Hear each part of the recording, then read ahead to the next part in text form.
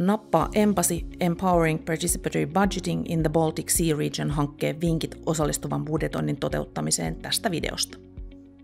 Osallistuvan budjetoinnin toteuttaminen kunta- tai kaupunkiorganisaatiossa vaatii aikaa ja tahtoa muutokselle.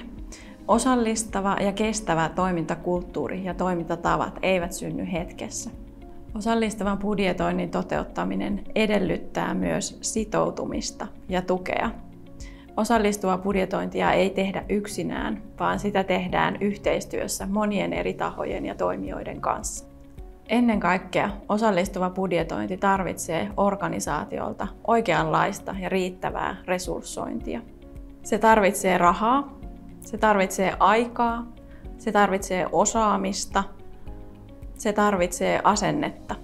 Osallistuvan budjetoinnin osalta viestintä on erityisen tärkeää. Sitä on tosi tärkeää viestiä no tietenkin ulkoisesti, organisaation ulkopuolelle, mutta myös sisäisesti, jotta pystytään jakamaan paremmin semmoista yhteistä ymmärrystä, mistä on kyse.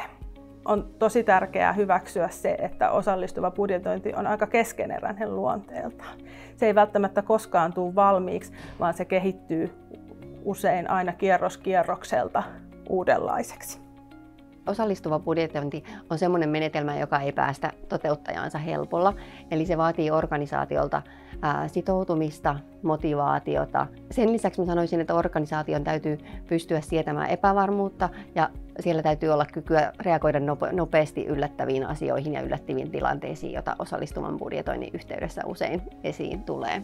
Ja parhaimmillaan mä sanoisin, että osallistuva budjetointi on sellainen osallistumisen väline, joka voi lisätä asukkaiden ja organisaation välistä luottamusta.